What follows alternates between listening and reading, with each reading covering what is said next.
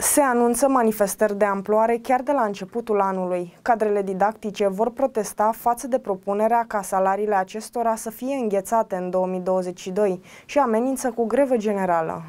Sindicatele din învățământ iau în calcul varianta unei greve generale, situație care va duce la închiderea școlilor. Cadrele didactice se simt umilite de faptul că salariile lor vor fi înghețate anul acesta. Există de asemenea posibilitatea radicalizării acțiunilor de protest, mergând până la neîncheierea situației școlare. De la 1 ianuarie 2022 trebuia să avem 16% la salariu, Uh, în învățământ. Uh, aceste majore au fost amânate din 2020, deci de 2 ani de zile uh, ele sunt prorogate de la un an la altul, da?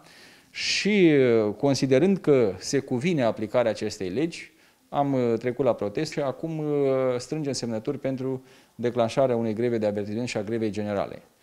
Cazul în care membrii de sindicat hotărăsc prin semnătură că pot declanșa această grevă, cu noi trecem la acțiune și Uh, vom bloca uh, sistemul de învățământ. În septembrie 2020, chiar în condițiile în care existau bani prinși în legea bugetului, ministrul de finanțe de atunci, domnul Florin Câțu, a refuzat să dea această mărire. Ultima mărire a fost la 1 ianuarie 2020, acea pătrime, având în vedere faptul că inflația acumulată depășește 10% în 2020-2021. Era mai mult decât normal să se dea 16%.